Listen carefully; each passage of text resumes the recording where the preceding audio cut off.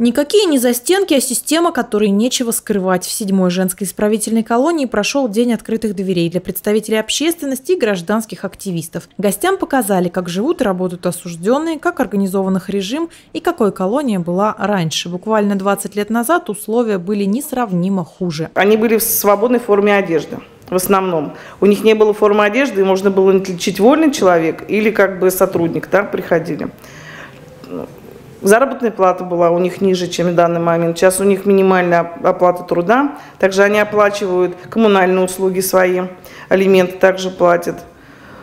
Ходит в магазин, у нее очень хороший ларек. Раньше такого ларька не было, где они даже покупают вплоть газировки и мороженого. Так выглядит обед для осужденных. На первое – картофельный суп, на второе – картошка с мясом. Дневная норма – 2800 калорий. Дают и мучное, и овощи. Сейчас к рациону спецконтингента система относится трепетно. Раньше наказывали желудком. Меню было скудное. Раз в день им положено мясо, рыба, также овощи крупная группа, порядка 900 грамм.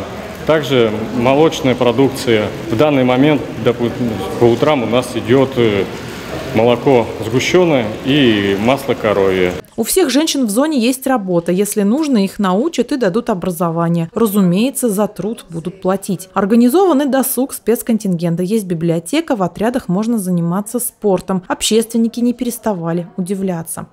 Каждый раз, приезжая в места лишения свободы, меня интересует, во-первых, как устроен быт осужденных, созданы ли качественные условия по оказанию медицинской помощи?